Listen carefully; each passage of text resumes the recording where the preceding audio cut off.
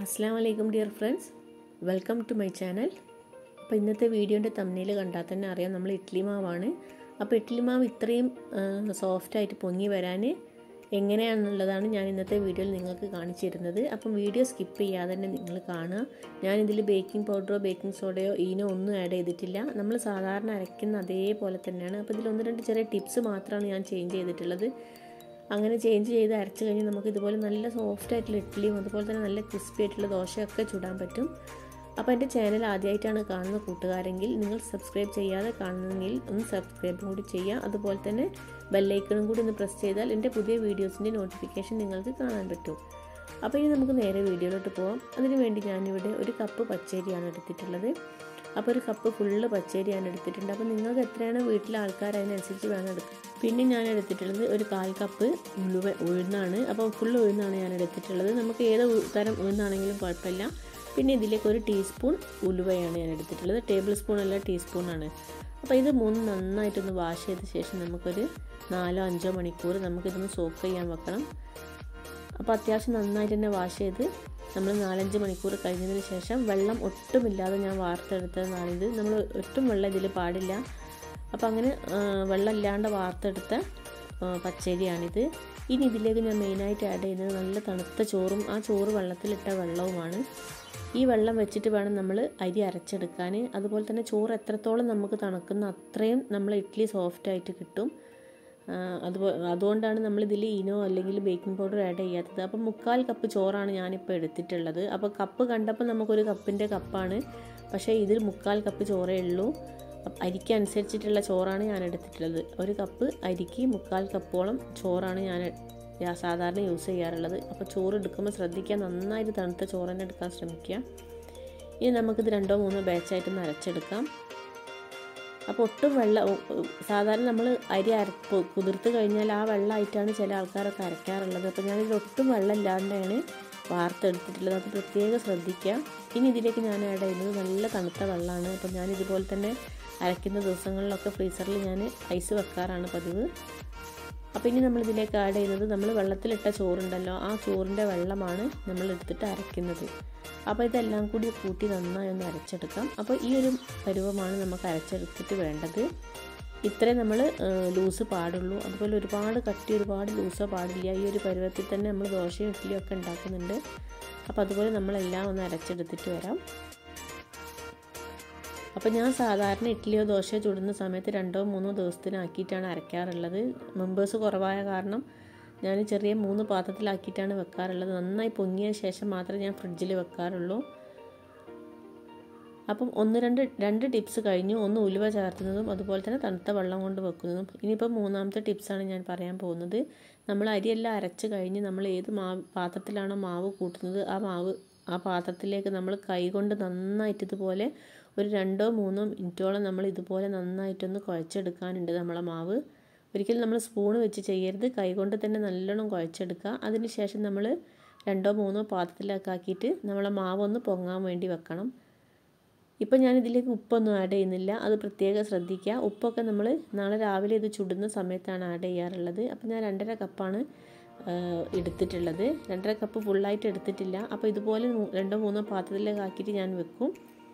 അപ്പോൾ നമുക്ക് ആവശ്യമുള്ളതിനനുസരിച്ചിട്ട് പാത്രങ്ങൾ മാത്രം എടുത്താൽ മതി. ഇപ്പോൾ ഇതിന് ഞാൻ ഓവർ നൈറ്റാണ് വെക്കുന്നത്.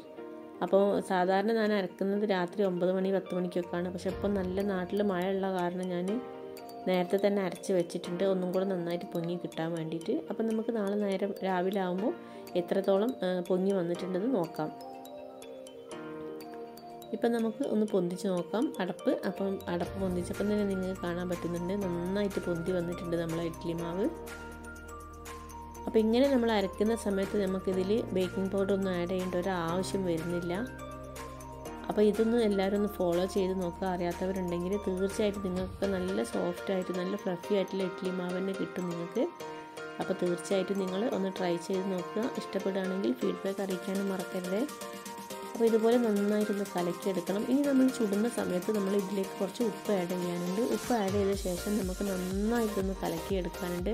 ഏകദേശം ഒരു ഒന്നൊന്നര മിനിറ്റോളം ഇതുപോലെ നമ്മൾ തവി വെച്ചിട്ട് നന്നായിട്ട് ഇളക്കി കൊടുക്കണം. അപ്പോൾ നമ്മൾ എല്ലാ മാവിലും ഉപ്പ് നന്നായിട്ടൊന്ന് പിടിച്ചിട്ട് വരും.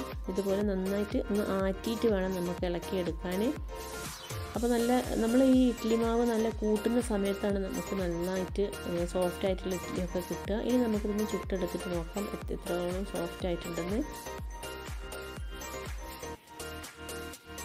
അപ്പം എന്റെ ഇഡ്ഡലിയും ദോശയും കഴിച്ചവർ ഒരുപാട് പ്രാവശ്യം എന്നോട് ചോദിച്ചിട്ടുണ്ട് റെസിപ്പിയൊക്കെ. അപ്പോൾ ഞാൻ വീഡിയോ ഇടാമെന്ന് പറഞ്ഞ് കുറച്ച് ലേറ്റ് ആയി പോയതാണ്. ഇനി ഇതിലേക്ക് ഞാൻ കുറച്ച് ചട്നി ഉണ്ടാക്കുന്നുണ്ട്. അപ്പോൾ ഇഡ്ഡലി വേവുന്ന സമയമാകുമ്പോഴേക്ക് നമുക്ക് കുറച്ച് സിമ്പിളായിട്ടുള്ള ചട്നി ഉണ്ടാക്കാം. അപ്പോൾ രണ്ടോ മൂന്നോ മുളക് ഇതേപോലെ പൊട്ടിച്ചെടുത്തിട്ട് പച്ചമുളക് എടുക്കാം. അതിലേക്ക് ഒരു കഷ്ണം ഇഞ്ചി കൂടെ നമുക്ക് അരച്ചെടുക്കാം. പിന്നെ രണ്ട് പോണ്ട് വെളുത്തുള്ളിയാണ് ഞാൻ എടുത്തിട്ടുള്ളത്. അതേപോലെ തന്നെ രണ്ട് ചെറിയുള്ളി എടുത്തിട്ടുണ്ട്. പിന്നെ കുറച്ച് മല്ലിയില. മല്ലിയിലയൊക്കെ ആവശ്യത്തിന് ഓരോരുത്തരുടെ ടേസ്റ്റ് അനുസരിച്ച് എടുക്കാം എന്നിട്ട് അതൊന്ന് നന്നായി ഒന്ന് ചതച്ചെടുക്കണം. അപ്പോൾ അത് ചതച്ചെടുത്തതിന് ശേഷം നമുക്ക് ഇതിലേക്ക് കുറച്ച് തേങ്ങ ആവശ്യത്തിന് തേങ്ങ ഇട്ടിട്ട് നന്നായിട്ടൊന്ന് അരച്ചെടുക്കാം. അപ്പോൾ ഇത് അരയ്ക്കുന്ന സമയത്ത് നമ്മൾ ഒട്ടും വെള്ളം തന്നെ ചേർക്കുന്നില്ല.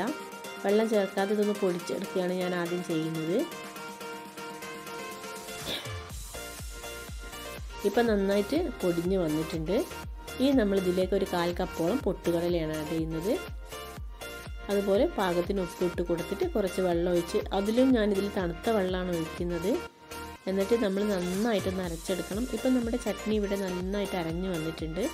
അപ്പോൾ കണ്ടാൽ തന്നെ അറിയാം നമ്മളിപ്പോൾ റെസ്റ്റോറന്റിൽ കഴിക്കുന്ന അതേ ചട്നിയുടെ ടേസ്റ്റ് തന്നെയാണ് ഇതിന് കിട്ടുന്നത്. ഇനി നമ്മളൊരു പാത്രത്തിൽ വെളിച്ചെണ്ണ ഒഴിച്ച് നന്നായി ചൂടായതിന് ശേഷം ഉലുവയും കടുകും ഇട്ട് നന്നായിട്ടൊന്ന് പൊട്ടിച്ചെടുക്കണം. സാധാരണ നമ്മൾ താളിക്കുന്ന പോലെ തന്നെ. അപ്പോൾ ഉലു ഉഴുന്ന് പൊട്ടിയതിന് ശേഷം നമ്മൾ കടുകിട്ട് പൊട്ടിച്ചെടുക്കാം. പിന്നെ ഇതിലേക്ക് കുറച്ച് കരിവേപ്പിലയും ചുവന്ന മുളകും കൂടെ ഇട്ടിട്ട് നന്നായിട്ടൊന്ന് മൂപ്പിച്ചെടുക്കാനുണ്ട്.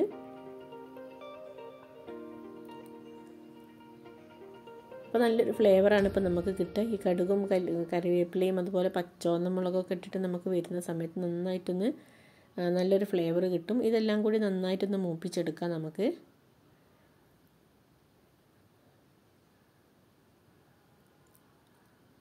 ഇനി ഇതിലേക്ക് നമ്മൾ ഫ്ലെയിം ഓഫ് ചെയ്ത ശേഷം മാത്രം വേണം നമ്മൾ അരച്ച അരപ്പ് ഇതിലേക്ക് ഒഴിക്കാൻ ഒരു കാര്യം ശ്രദ്ധിക്കുക. ഫ്ലെയിം ഓഫ് ചെയ്തിട്ട് ശേഷം മാത്രമേ നമുക്ക് ഇത് ഇതിലേക്ക് ഒഴിക്കാൻ പാടുള്ളൂ. അല്ലാന്നുണ്ടെങ്കിൽ നമ്മളെ ടേ ഒരു ടേസ്റ്റും ഉണ്ടാവില്ല. നമ്മളെ ചട്നി എപ്പോഴും നമ്മൾ ചട്നി ഉണ്ടാക്കുമ്പോൾ ഒരിക്കലും നമ്മൾ അടുപ്പത്ത് വെച്ച് തിളപ്പിക്കാൻ പാടില്ല.